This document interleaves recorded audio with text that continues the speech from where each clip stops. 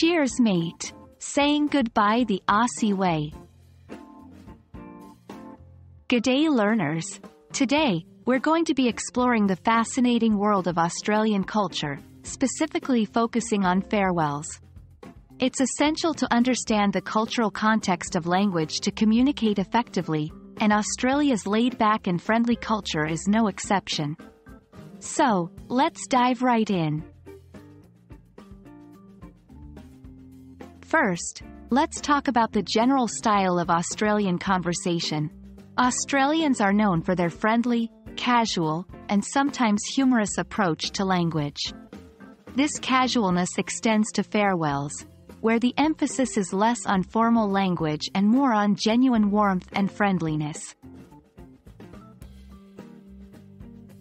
Now let's explore some of the most common Australian farewells. Remember, these might vary depending on the region, situation, or the person you're talking to. 1. See ya. This is an informal and casual way of saying goodbye.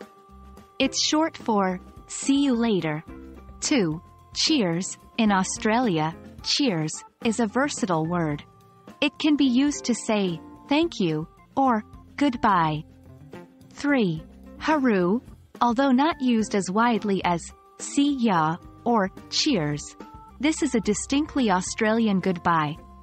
It's a fun, unique, and very Aussie way to say goodbye. 4. Catch ya. This is another casual and friendly way of saying goodbye. It's short for catch you later. 5. No worries, mate. This phrase is a hallmark of Australian English. It can be used at the end of a conversation to mean, don't worry about it, it's okay, or goodbye. In Australian culture, the context matters a lot. While these farewells are generally casual and friendly, you need to consider the situation, the person you're talking to, and the relationship you have with them. For instance, while it's acceptable to use see ya or cheers with friends, they might be too informal for a professional or formal setting. There you have it, mates.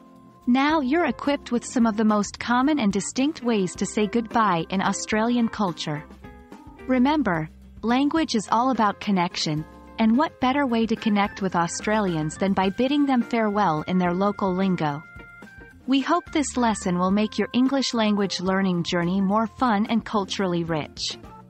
Hooroo for now, and keep practicing.